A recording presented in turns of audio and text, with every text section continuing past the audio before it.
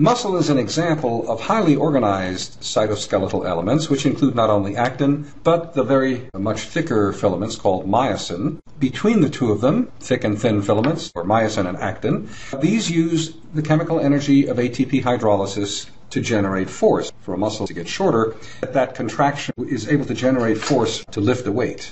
So we're going to look at the interactions of actin and myosin filaments so here we have a muscle bundle, which is basically the muscle that you would give a name, like uh, biceps, right?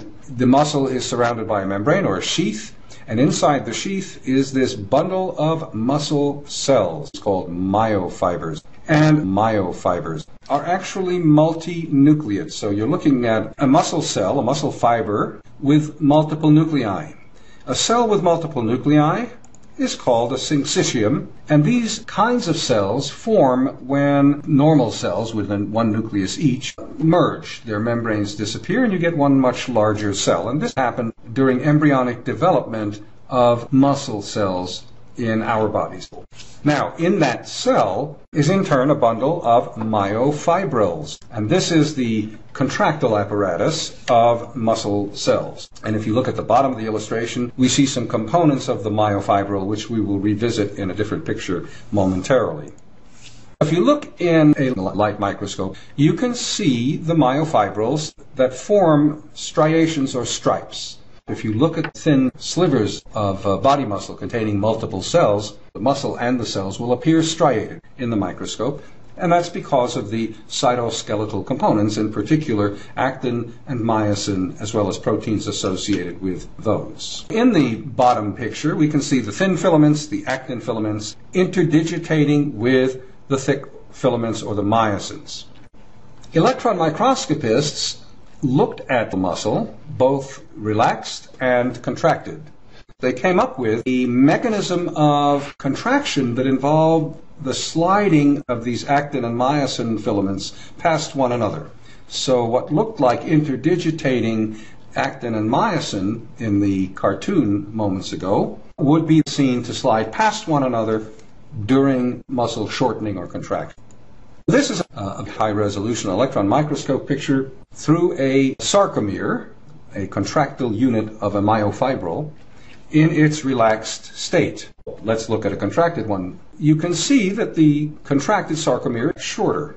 We can identify what's called a Z line, the line between consecutive sarcomere. And what you see is that the Z lines have come closer together in the sarcomere of a contracted muscle. Contraction is in effect pulling uh, Z lines closer together. The actin, the thin filaments, can be seen in this illustration as the lighter region of the sarcomere. And if one looks at even higher power and resolution, you can see the 10 nanometer fibers, which are actin filaments. They constitute together something that was called the I band. In a sarcomere, there are two I bands at either end, representing actin filaments projecting into the sarcomere from the Z line. I say it that way because, in fact, we know that the actin filaments are actually attached at the Z line, so they do project inward to the sarcomere from the Z line. The dark material, when looked at fairly closely, turns out to consist of thick filaments and interdigitated thin filaments and that region is called the A band. The width of the A band is the length of myosin filaments. The darkest region of the sarcomeres, and there are two of them on either side of a, of a middle band, is the region where actin and myosin overlap. And that's what you would expect. If the actin and myosin overlap, it should look thicker or darker in the microscope than where actin sits alone, or towards the middle of the sarcomere in the relaxed state, certainly, where the myosin filaments are not associated with actin. The overlap region, when you look at it in cross section, shows that each myosin, the thicker dots, is surrounded by six actin filaments. I mentioned a second ago the middle line or mid region of the sarcomere.